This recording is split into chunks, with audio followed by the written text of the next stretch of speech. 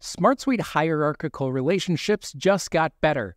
What the heck does that mean? Well, a hierarchical relationship is typically when we have two records that are of the same type. So think about it this way. This is really helpful in business. If you're dealing with company records or accounts, you have a company, you might have a parent company that has multiple children companies underneath it.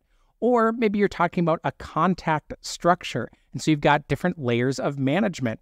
You have individual contributors, and they all have a manager, and those managers have a manager, maybe a director, and those directors roll up to a VP. And so you have these relationships between the same kinds of objects inside a SmartSuite. Typical backlink behavior between two different tables in SmartSuite is typically really helpful. So if we have contacts and companies, I'm on my contacts, I have a linked relationship here that links to the company, and we can select the current company then that automatically on the backside on the companies creates that linked record back. We don't have to manually do that ourselves. That's very useful. But now if I've created this manager field and then we can open up the field settings and we can see that I've linked to the contacts. I'm on the contacts table. I'm linking to the contacts table from here. And the default behavior for this has been let's say I, Dan Leeman, my manager is Angela. So I'm going to click on this record and start typing Angela's name. And by the way, if you've been using SmartSuite, did you know you can do this now without mouse clicks?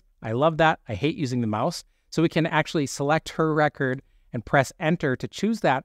Now, when we've created that link, notice how that creates that backlink automatically for Angela to Dan. But that's not how these hierarchies work.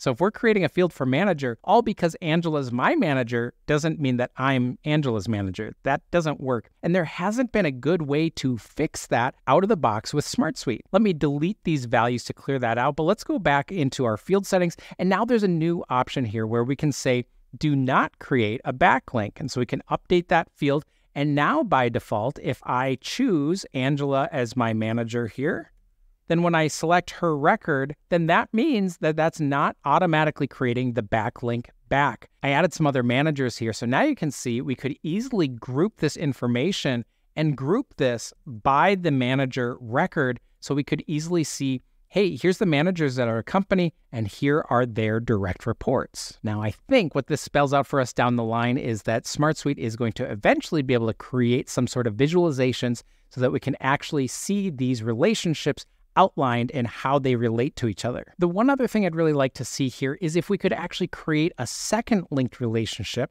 This would be called direct reports. And by putting in the manager, it would actually populate the backlinks, but in that other field. That's been a hot topic in the world of Airtable. People have written different scripts to automatically populate those backlinks. So I know we're asking for a lot, but I think this is one way that we could have some additional flexibility in the future. If you have any questions about your SmartSuite setup, don't hesitate to reach out to automationhelpers.com where we're offering free 30 minute consultations.